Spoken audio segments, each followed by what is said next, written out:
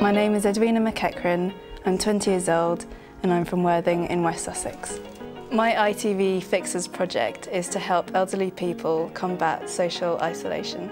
With the help of ITV Fixers, I am putting on an afternoon's entertainment where people can come together and make new friends. One of the people that are coming to the event is Kathleen Harold and she's 89 years old. Mrs Harold. Hello. Hi, I'm Edwina. Hi, are you looking forward to the event? Well, I'm looking forward to the company more than anything. Do you find it difficult to get out and about? Yes, I don't um, walk very well due to a fall that I had. I suppose I can't grumble for my age. okay, shall we go get your things in? Yes. Yeah. everybody, good afternoon. The event is a tea party. We're having tea and cake and we're putting on a silent film. Even the press and the local MP have agreed to come along. Wonderful. First film you ever saw, do you think? I mean, you're going back, so my memory's not that good. Vernon, Kathleen, Kathleen Vernon. Would anyone else like any more cakes?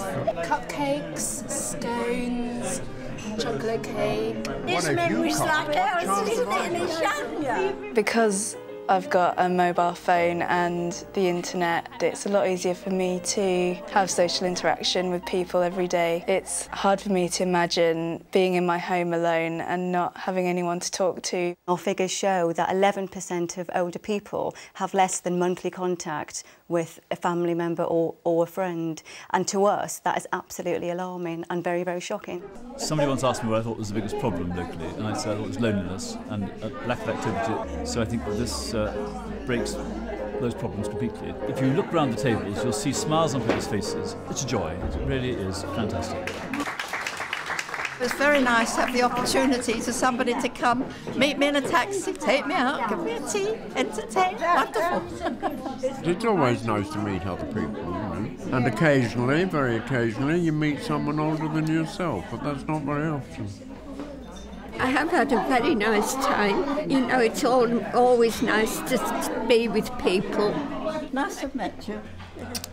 My event is only one afternoon, but people are isolated all year round. I'd like to think that people my age would make more of an effort with elderly people, either chatting to them for an afternoon or picking up a phone to an elderly relative, because such a small deed would make a big difference in their lives.